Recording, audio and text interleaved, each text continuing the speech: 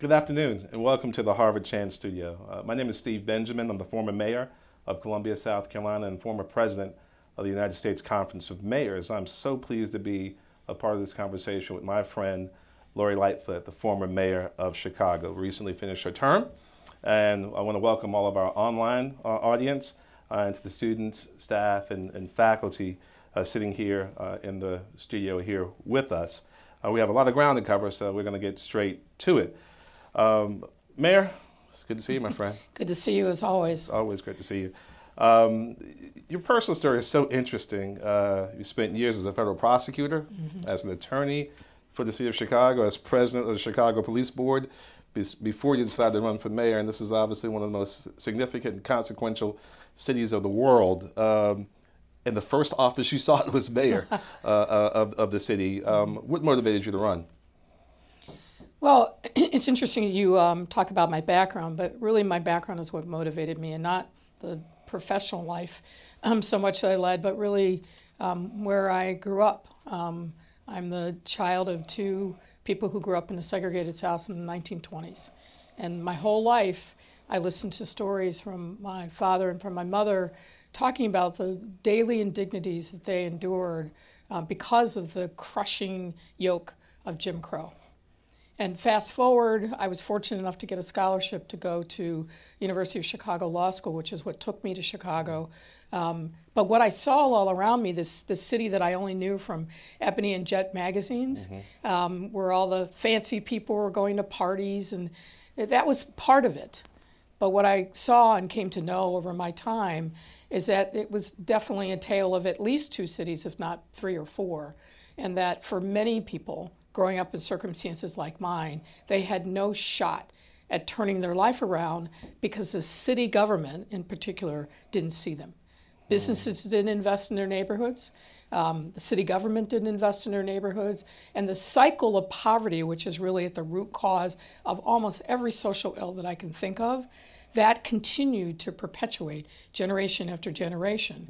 And at a time, uh, like 15, 16, um, where violence was spiking in the city, I, I looked for answers because I felt like surely a world class city like Chicago, with the incredible intellectual and business um, uh, savvy and talent um, that existed, we could address some of these issues. But what I quickly learned is it really takes leadership.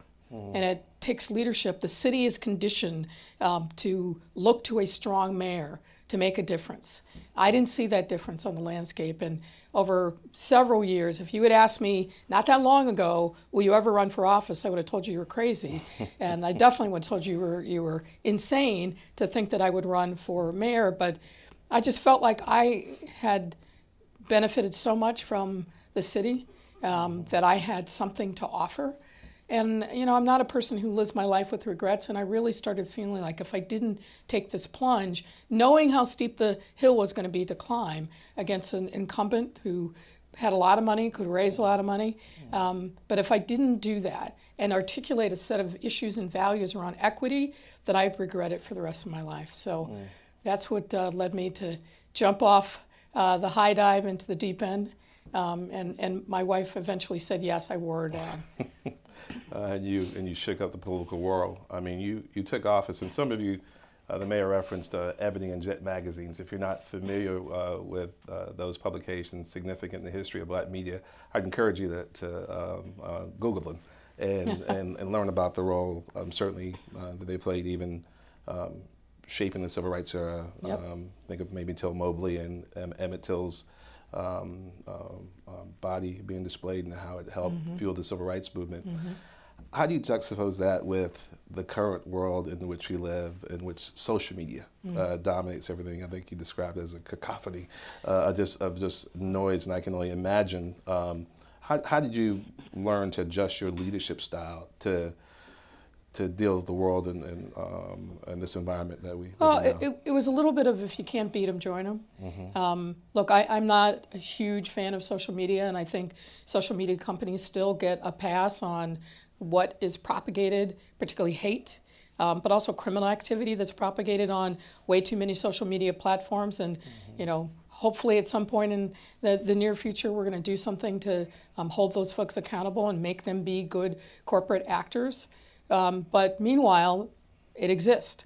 Um, and it's a way in which increasingly a significant number of residents um, get their news, get information um, from uh, the variety of social media platforms. So ignoring it entirely is really not an answer, but I think being strategic about how it's used. So I had some very smart 20 um, year olds who uh, took over our digital media strategy. Um, one of the best, I think, marketing people uh, in the country who came on as our chief marketing officer. And particularly during COVID, we really tried to turn um, social media into a way for us to alleviate people's fears and concerns, but communicate directly uh, with the, the public. So, you know, memes took off uh, of me and um, other things during COVID, which was helpful.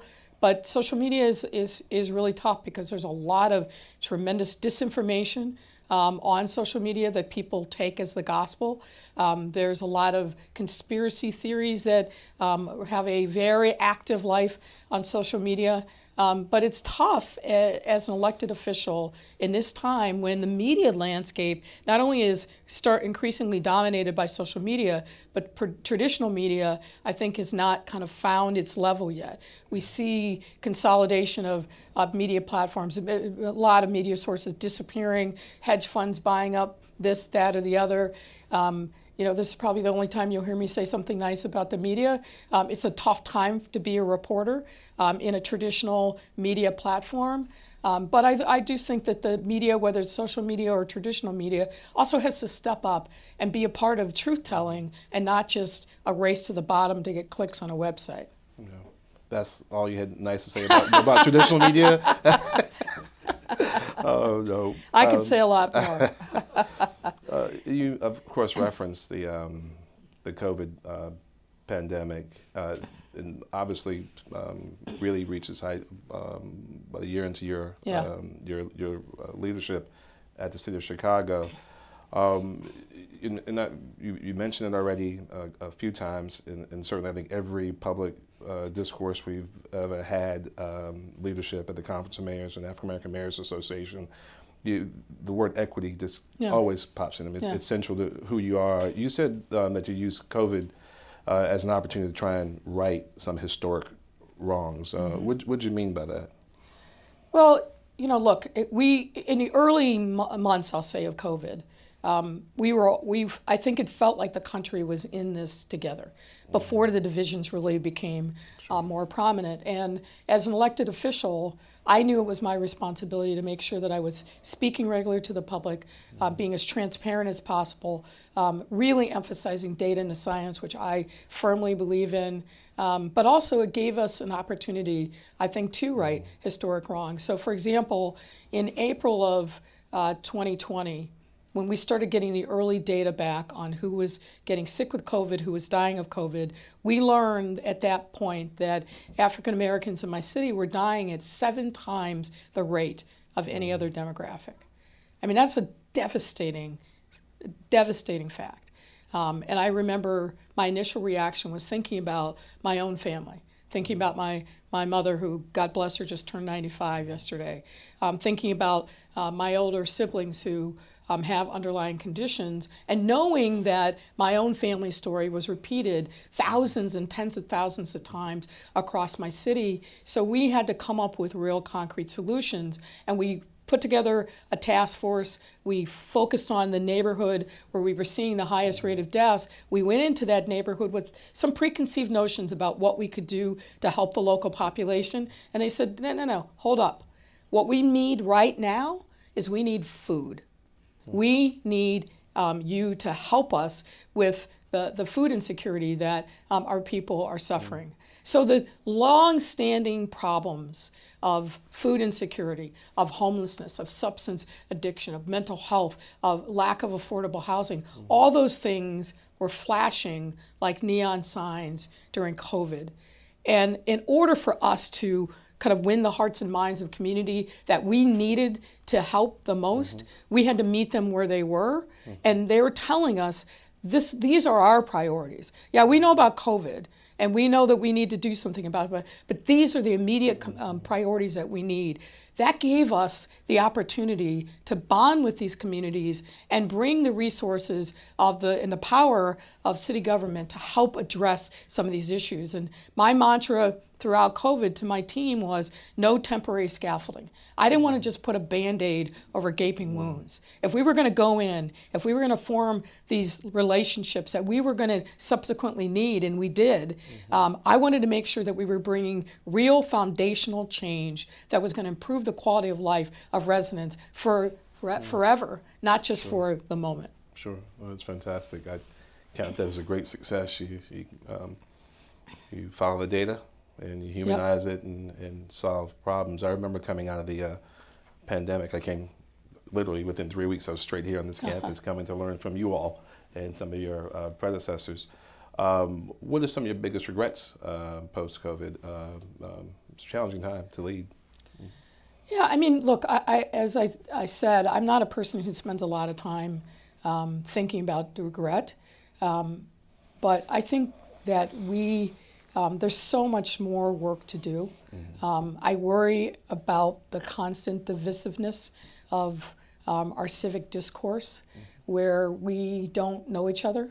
Um, we demonize people who we believe have different views um, than we do. I was traveling recently, um, and an older white gentleman um, came to me and recognized who I was. He's like, I don't think I believe in anything that you believe politically, but I think you got a really, really, really raw deal, which was kind of a nice thing to say. I said, but I said, you know, I bet you pro- we probably have more in common than you think. Mm-hmm. Taking that time to have that kind of discourse is so hard to do, and you really you got to do it person by person. You know, I, I mentioned that when we had this challenge with African Americans dying at such a high rate, we put together a task force. And initially, it was just focused on the African American community, which is what the data told us we needed to do. But then, when we continue to see really high case rates in the Latinx communities across our city, we added those um, stakeholders to this team.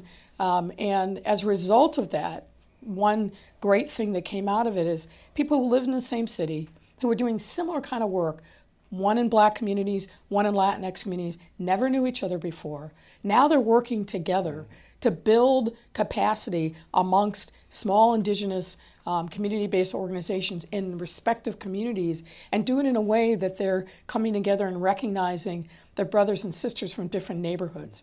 Um, that's a tremendous thing um, coming out um, of COVID.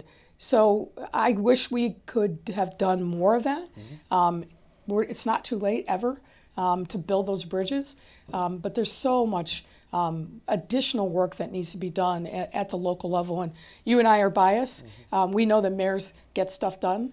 Um, but what I've also said to, to people as I was kind of doing a series of farewell speeches, you don't need a golden ticket from the mayor to do good.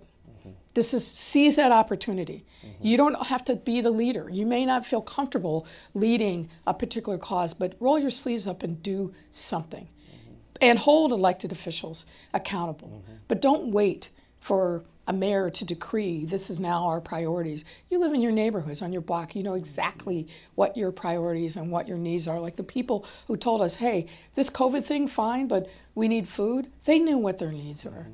And we've got to do more, I think, in this country to really empower people at the block level um, because that's what should be really driving change. Mm, no, fantastic.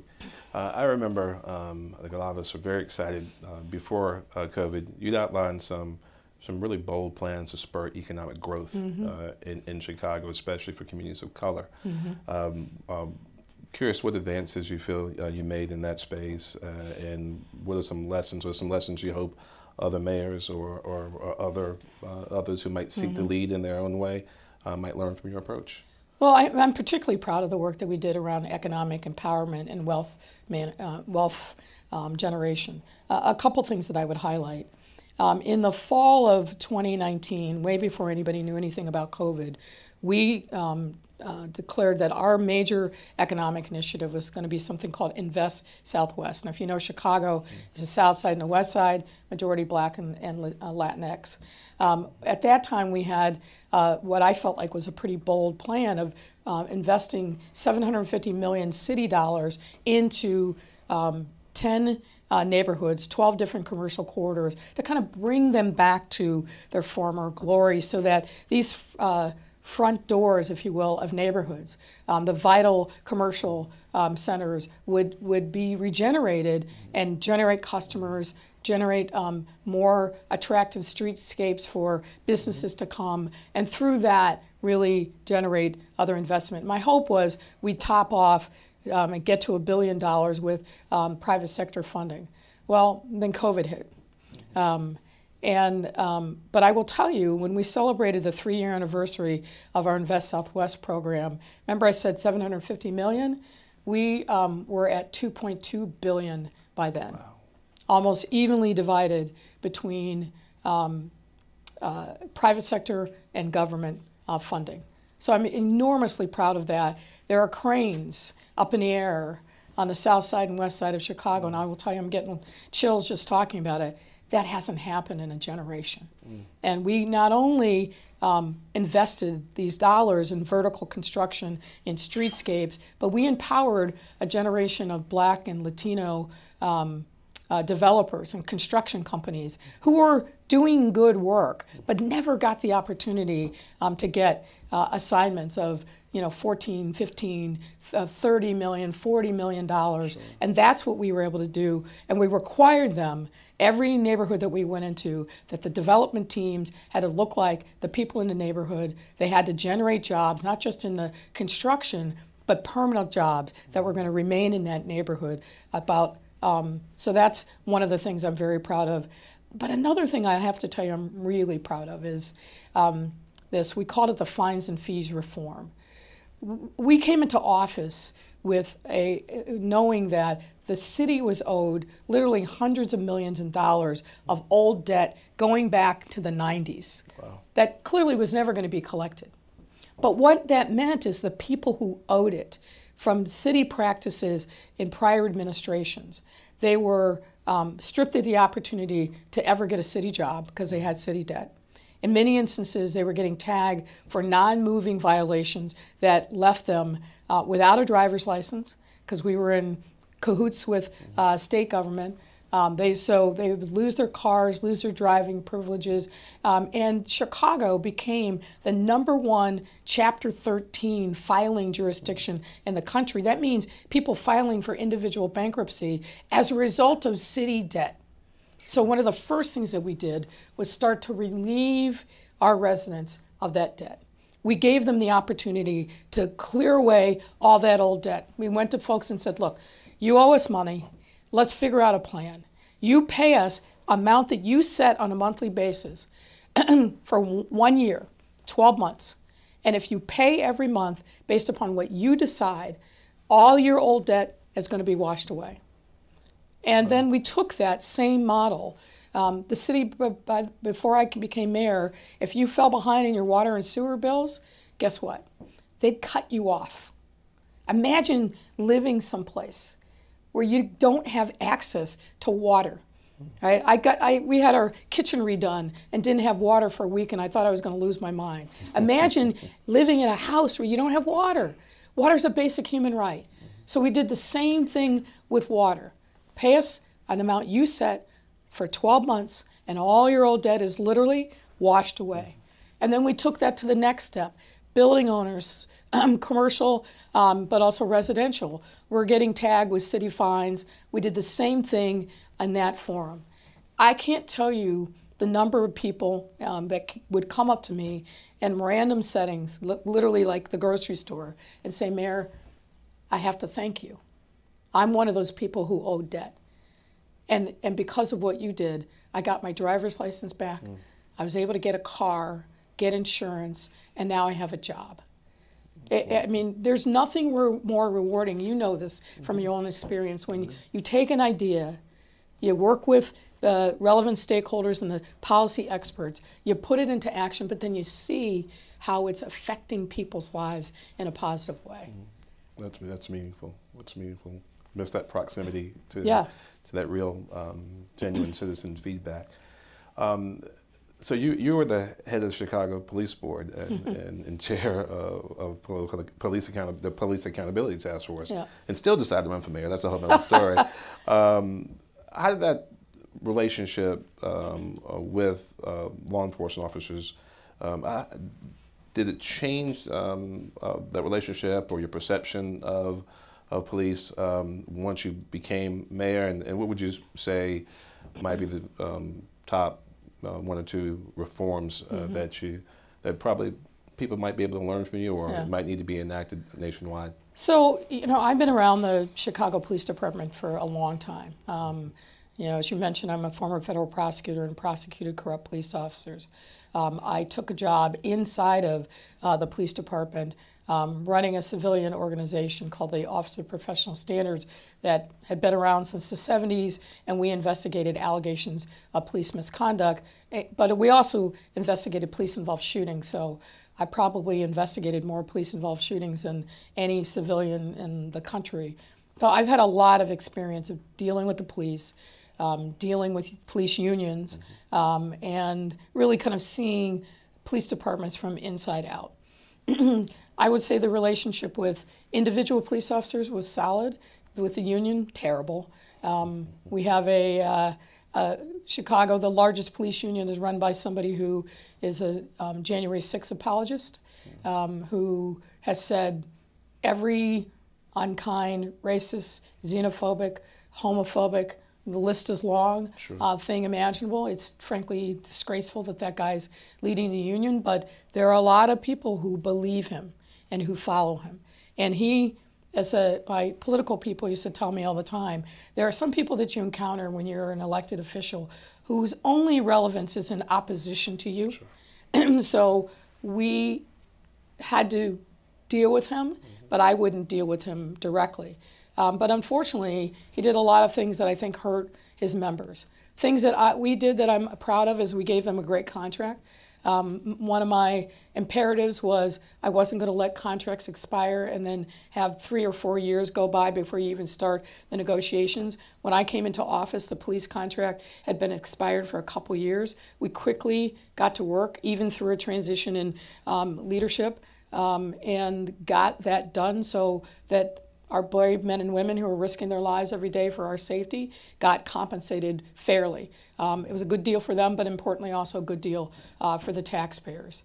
Uh, But we also um, impose accountability members as, uh, measures as, as part of that. Chicago, second largest police department in the country, um, people worked side jobs. We had no idea what those side jobs were. We had no idea how long um, they were working their side jobs. I put an end to that and made sure that from that contract forward, um, there was going to be a level of accountability. I made sure the lawyer and me um, that we were just hemorrhaging money in settlements and judgments and attorney's fees. Before I came into office, um, the previous 10 years, we'd spent over a billion dollars in settlements, judgments, and attorney's fees. So we worked to try to reform what was clearly a very broken system.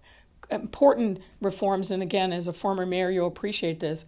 Um, I would get emails 24 7 from things that were happening in the city from the police department's perspective. And early on in my tenure, I kept seeing these um, emails around police pursuits.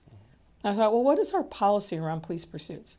And then I had somebody dig into, well, is, do we have any uh, liability issues there? Well, of course, we did.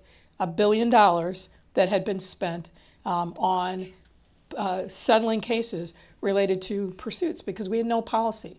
You somebody ran a light, you could run um, at 100 miles an hour, lights and sirens through the city, chasing somebody who ran a red light, and then and ended up doing property damage and damage to individuals and, and a number of deaths. So we reformed that policy. We reformed our our um, search uh, warrant policy, reformed our foot pursuit policy, and probably one of the most dangerous things that police um, engage in. And importantly, for the first time, we put $20 million uh, into officer wellness programs to deal with the trauma and the stress that they were facing on a daily basis. So I'm proud of the things that we did, both in terms of supporting the police, but also holding them way more accountable um, than they had been before. I hadn't planned to ask you this, but I remember a statistic um, not, not one gun store in the city of Chicago. No. Uh, All the guns, we, we, we, our officers take more guns off the street than New York or LA combined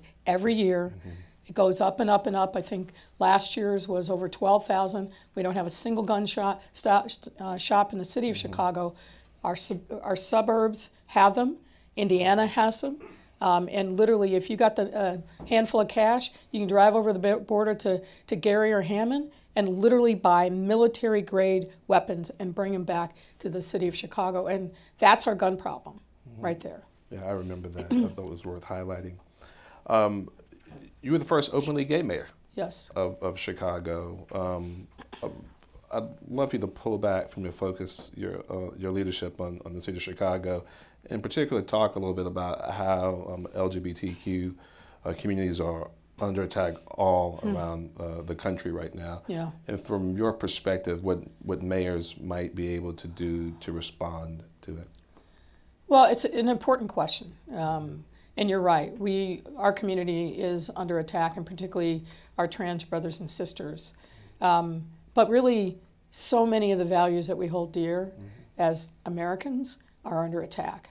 Um, when the Supreme Court um, overturned Roe v. Wade and the Dobbs decision, um, if you want to be scared and but also educated, I would read Justice Thomas's concurrence um, because he laid out a plan uh, for really rolling back the rights that we all take for granted.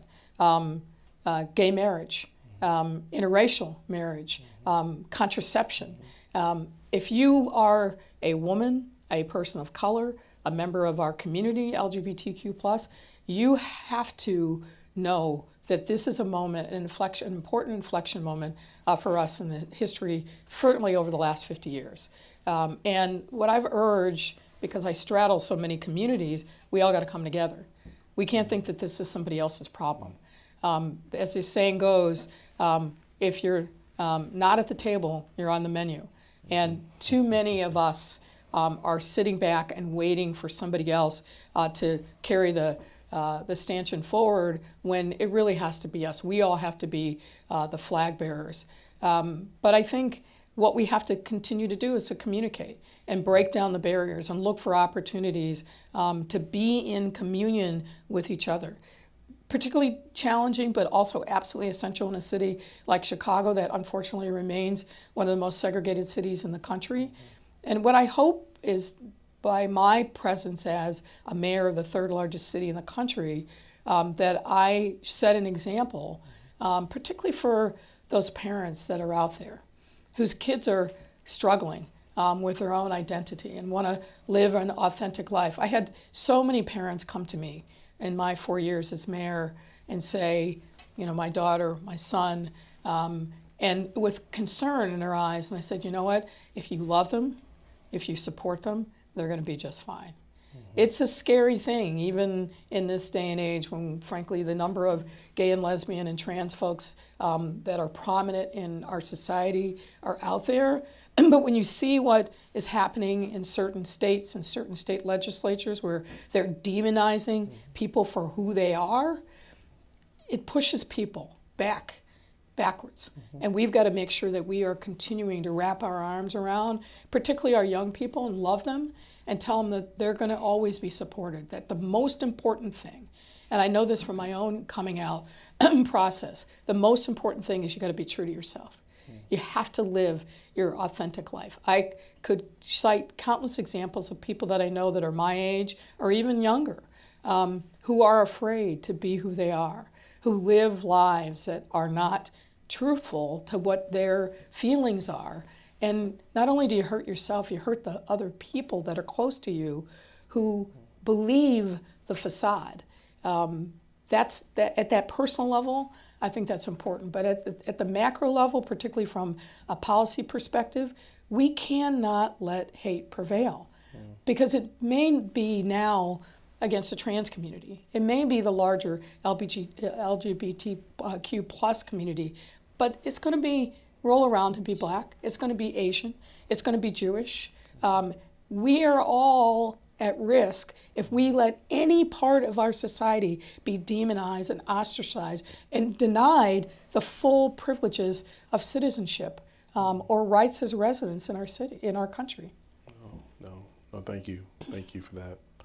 Um, I know we're we're gonna we're having a great conversation. We could probably go on for hours, um, uh, but we're gonna have to wrap up um, shortly. Allow some time for in studio audience to, to ask uh, some questions um, as well. So I'm gonna give you a few uh, lightning round questions uh, of, sort. Uh, in, a, in a sentence, um, what's your favorite thing about being mayor? helping people and seeing on the, in the eyes of children that they recognize that I was their mayor. And what was your least favorite? How much time you got? Um, I don't miss the vitriol. Yeah. I don't miss the acrimony that gets played out. We talked about social media before, talked about the media before. I don't miss that at all. Um, they still keep knocking on my door. I'm like, no, no, no, no, no. I'm gone. Shed that skin. Leave me alone. Um, what are you most glad to have off of your plate? Well, I'll, I'll, I'll say it this way. What I'm most glad about in this time is being more present for my wife and my daughter. Um, they sacrifice a lot. When you're an elected official, as you know, your family is in it with you. And they didn't run for office. And many times they didn't want you to run for, for office. So being more present at an important time in my daughter's life, being more present and taking weight off of uh, my spouse um, is, has been really important. We had a great summer together. Um, we're having a great fall. Um, and so I, I cherish that time and hopefully I'm buying more years of my life by leaving the day-to-day stress um, to be somebody else's concern and problem. Yes. No. Um, we want many of you to consider serving somewhere, somehow, someday. But the afterlife is pretty good. It, it, it can be. It can be really good. Um, I want to thank um, uh, my friend Mayor Lori Lightfoot, um, and thank you to this uh, wonderful um, audience. Um, I want to let folks know if they've missed any part of this program, uh, they can watch it on, the- on the Harvard uh, Chan School's YouTube channel. Um, good afternoon, and thank you so much for, for being with us. Thanks, everyone. Thanks.